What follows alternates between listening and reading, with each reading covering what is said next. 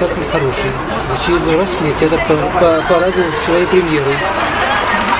С удовольствием хожу в театр и открываю дверь с предвкушением моего удовольствия. А что именно в этом спектакле вам понравилось?